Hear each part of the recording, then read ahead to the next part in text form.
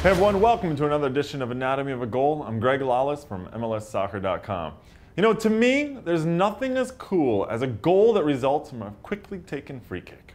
There's something just so satisfying about seeing someone recognize the moment and be willing to take a chance.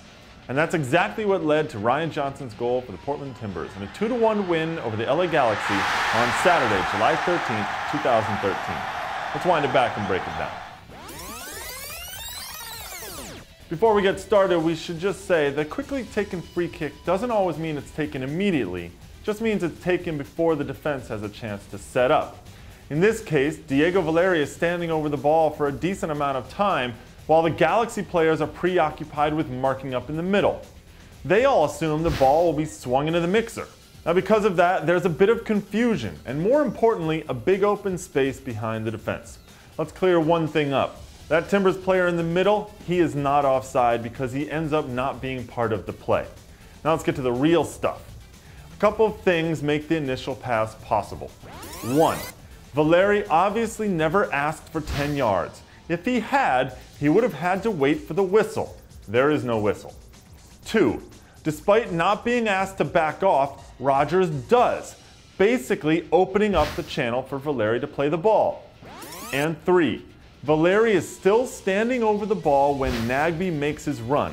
So when Nagbe glances at him to make eye contact, which is how he alerts Valeri to what's about to happen, Valeri is still close enough to the ball to flick the pass through. Now that understanding and that eye contact is key. I'm sure that the Timbers work on quick set pieces like this at times, not by running drills or drawing up sequences on a chalkboard, but by encouraging players to think quickly and take risks in the final third. It also helps to have creative players like Valeri and Nagbe. So we've talked about how the Timbers got away with it, but what happened on the Galaxy side? We already mentioned Robbie Rogers backing off, but there are a couple other things to notice. Keane has his back to the ball. He's busy trying to play director for all the defense. Another thing to notice, goalkeeper Carlo Cudicini still trying to set up his wall. He wants two men in there, not just the one. So he's not quite ready when the play comes through.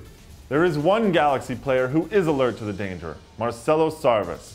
And he's simply unlucky that Nagbe's cross goes through his legs and to the wide open Ryan Johnson for the tap-in.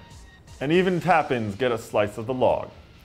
I'm Greg Lalas from MLSsoccer.com. Join me again next time. We'll wind it back and break it down.